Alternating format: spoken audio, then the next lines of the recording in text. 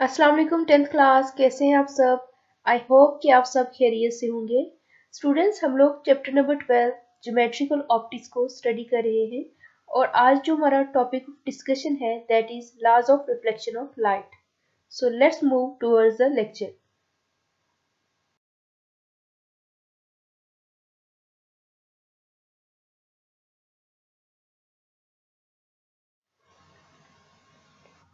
students our topic of discussion is laws of reflection of light.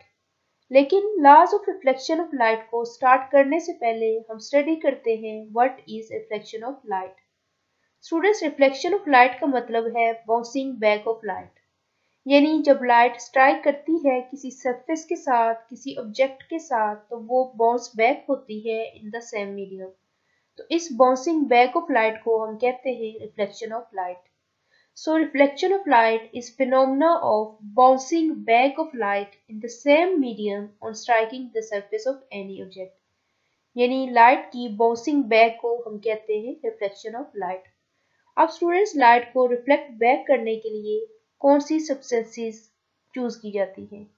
Students we know that mirrors are good reflectors क्योंकि ये maximum light को reflect back कर देते हैं। तो इसीलिए आज के चैप्टर में मोस्टली जो रिफ्लेक्टिव सरफेस चूज़ करेंगे, वो मिरर्स होंगे।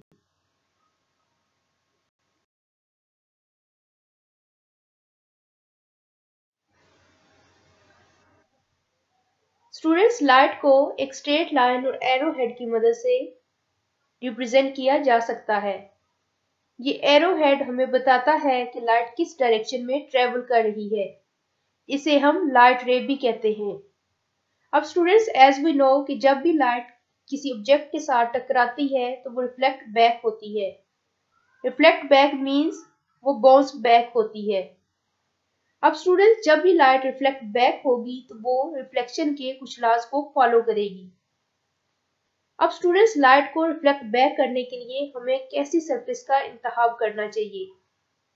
Students we know that shiny surface of mirror reflects maximum light back यानी shiny surface of mirror maximum light को रिफ्लेक्ट बैक कर देती है। सो so, इसके लिए हम इन लॉज को पढ़ने के लिए मिरर की प्लेन सरफेस का इंतखाब करेंगे। चले मिरर की प्लेन सरफेस को कंसीडर कीजिए। लेट्स सपोज़ बल्ब से आने वाली लाइट रे इस पॉइंट पर टकराती है। इसे हम इंसिडेंट रे कहेंगे। हम जानते हैं कि मिरर इस रे को रिफ्लेक्ट कर देगा। और रिफ्लेक्टेड रे कुछ इस तरह से ट्रेवल करेगी।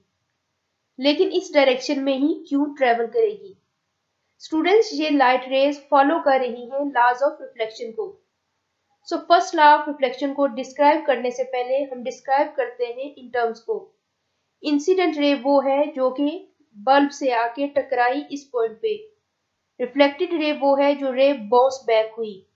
ये नॉर्मल क्या है? ये बेसिकली परपेंडिकुलर लाइन है to the surface at the point of incidence ये पॉइंट ऑफ़ इंसिडेंस से हमने एक परपेंडिकुलर ड्रा किया है, जिसे हम कहते हैं normal so according to first law of reflection the incident ray the reflected ray and the normal at the point of incidence are in the same plane. First law of reflection के according incident ray reflected ray और normal एक ही plane में लाई कर रहे हैं। सो so, students अगर हम consider करें कुछ इस तरह की सिचुएशन यानी इंसिडेंट रे आके स्ट्राइक करे इस पॉइंट पे और वहाँ से स्ट्राइक करने के बाद आपकी रे कुछ इस डायरेक्शन में रिफ्लेक्ट बैक हो। तो स्टूडेंट्स अगर ऐसा होता है तो ये है violation of first law of reflection लेकिन ऐसा होता ही नहीं है। लाइट हमेशा लॉ ऑफ़ रिफ्लेक्शन को फॉलो करती है। यानी इंसिडेंट रे अगर स्ट्राइक करेगी इसे तो वो इसी डायरेक्शन में रिफ्लेक्ट बैक होगी। वो उसी प्लेन में होगी रिफ्लेक्ट बैक जिस प्लेन में इंसिडेंट रे लाइक कर रही है। वो उसी प्लेन में रिफ्लेक्ट बैक होगी, जहाँ इंसिडेंट रे और नॉर्मल दोनों लाइक कर रहे हैं।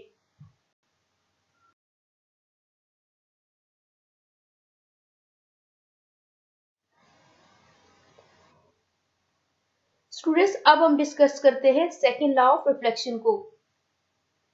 According to second law of reflection the angle of reflection is always equal to the angle of incidence students पहले हम डिस्क्राइब करते हैं कि एंगल ऑफ़ रिफ्लेक्शन क्या है और एंगल ऑफ़ इंसिडेंस क्या है। स्टूडेंट जैसा कि फ़र्स्ट लॉ में हमने डिस्क्राइब किया था कि हम इंसिडेंट रे को फॉल करते हैं प्लेन मिरर पे। और इंसिडेंट रे यहाँ आके टकराती है, जिसके बाद रिफ्लेक्शन का प्रोसेस अकर करता है। यानी कि इंसिडेंट रे यहाँ टकराने के बाद रिफ्लेक्ट बैक होगी। फिर हमने कोई नॉर्मल ड्रा किया था और नॉर्मल कहाँ से ड्रा किया था? पॉइंट ऑफ़ इंसिडेंस से एक परपेंडिकुलर ड्रा किया था। अब स्टूडेंट्स एंगल ऑफ़ इंसिडेंस वो एंगल है जो इंसिडेंट रे बना रही है। एंगल ऑफ़ इंसिडेंस वो एंगल है जो इंसिडेंट रे नॉर्मल के साथ बना रही है। और एंगल ऑफ़ रिफ्लेक्शन वो एंगल है जो रिफ्लेक्टेड रे नॉर्मल के साथ बना रही है। So angle of incidence is the angle made by the incident ray of light with the normal and angle of reflection is the angle made by the reflected ray of light with the normal.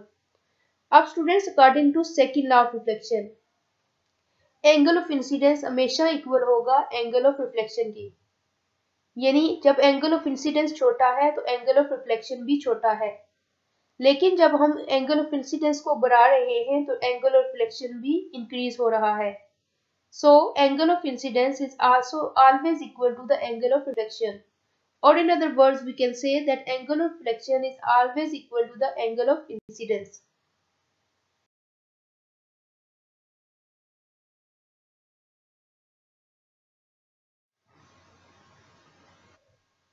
dear students अब हम collectively दोनों लाज को study करते हैं revise करते हैं कि दोनों लाज हमें क्या बता रहे हैं। Students first law of reflection के according incident ray reflected ray और नॉर्मल तीनों एक ही प्लेन में लाए करते हैं। अब अगर हम इस तरह से सपोज़ करते हैं कि इंसिडेंट रे आके स्ट्राइक की इस पॉइंट पे आपने नॉर्मल ड्रा किया प्रोपेंडिकुलर ड्रा किया इंसिडेंट पॉइंट से और रे इस डायरेक्शन में रिफ्लेक्ट होने की बजाय इस डायरेक्शन में रिफ्लेक्ट होगी। तो अब स्टूडेंट्स देखें इंसिडेंट रे और नॉर्मल तो सेम प्लेन में है, लेकिन ये रिफ्लेक्टेड रे उस प्लेन में नहीं है। So students which is impossible अगर ऐसा होता है तो ये लॉ ऑफ़ रिफ्लेक्शन की वायोलेशन है। अगर ऐसा होता है तो ये फ़र्स्ट लॉ ऑफ़ रिफ्लेक्शन की वायोलेशन है। लेकिन स्टूडेंट्स इन लाइट रेज हमेशा लॉज ऑफ़ रिफ्लेक्शन को फॉलो करती है। ये वाला केस एग्जिस्ट नहीं करता। हमेशा रे इस पॉइंट पे गिरेगी और इस डायरेक्शन में रिफ्लेक्ट होगी। यानी इंसिडेंट रे नॉर्मल और रिफ्लेक्टेड रे एक ही प्लेन में लाई करेंगे। अब सेकेंड लॉ ऑफ़ रिफ्लेक्शन के according angle of incidence is equal to angle of reflection. इसका मतलब ये है कि इंसिडेंट रे जो एंगल बनाती है नॉर्मल के साथ, वो हमेशा इक्वल होता है टू द एंगल जो कि रिफ्लेक्टेड रे बनाती है नॉर्मल के साथ। अब स्टूडेंट्स अगर एंगल ऑफ़ इंसिडेंस छोटा है तो एंगल ऑफ़ रिफ्लेक्शन भी छोटा होगा। लेकिन अगर हम एंगल ऑफ़ इंसिडेंस को इंक्रीज करते हैं लाइट को कुछ इस एंगल पे फॉल करते हैं इंसिडेंट करते हैं तो जो रे रिफ्लेक्ट होगी, उसका एंगल भी बड़ा होगा। सो angle of incidence is equal to angle of reflection और angle of reflection is equal to angle of incidence